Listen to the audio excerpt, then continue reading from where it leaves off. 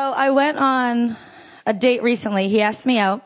We went to the restaurant. We ordered drinks, food, kept drink ordering more drinks, more food. So I kept feeling like, oh, this is kind of going good. Like he likes it. He keeps ordering more things. The bill came. It was a big bill. We took it to closing time. And he told me he lost his debit card.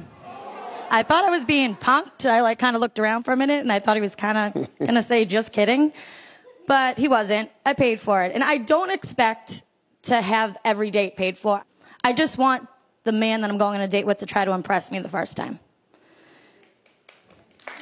So, Okay. my question to you is Okay.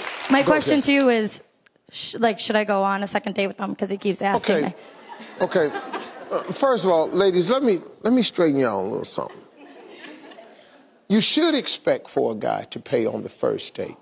Why is it that you women refuse to think that, well, he doesn't have to pay every date? He has to pay for your company. That's what the deal is.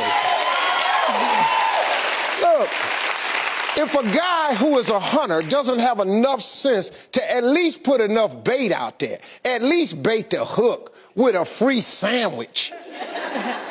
I mean, who is this guy? Now, should you give this guy a second chance? I think you should.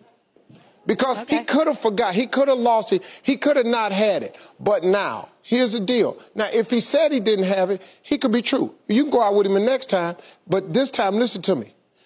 Two things have to happen. You don't bring nothing with you on this date. Okay. You don't, you just sitting there. just sitting there with your hands on the table. You got nothing. And then secondly, you have every right, you should ask for your money back. You, you could ask for your, but hey, say, look, hey, I'd love to go on that second date. Are you going to be able to reimburse me since I paid for the first date? Okay. Now, now, if he's a real man, he going to understand that. Now, if he got a problem with that, then you ain't got to go on no second date. But if you ask for your money back and he balked, then keep moving. All right. That's what I think. Thank you.